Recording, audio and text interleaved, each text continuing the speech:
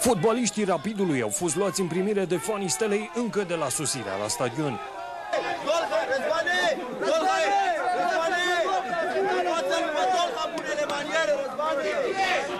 Antrenorul Rapidului nu a avut timp să-l învețe pe Dolha bunele maniere, pentru că la ieșirea pe teren, portarul giuleștean a răspuns corului de fluierături cu un gest total de fair play.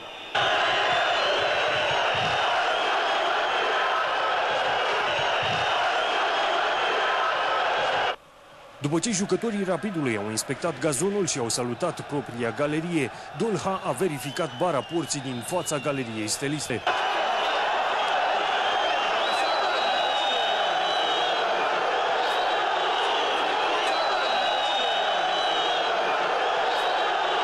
Și ceilalți jucători ai Rapidului au salutat galeria Stelei cu spatele.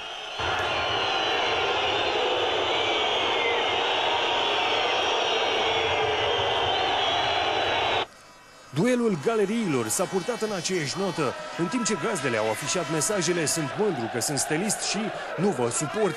Rapidiștii au replicat prin Visați la campionate, dar azi vă trezim la realitate și Liniște, angajații oierilor joacă azi în tăcerea mieilor.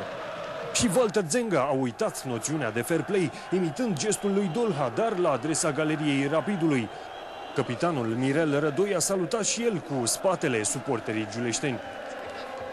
Răzvan Lucescu a protestat față de modul în care crainicul stadionului a înțeles că trebuie să-și facă datoria.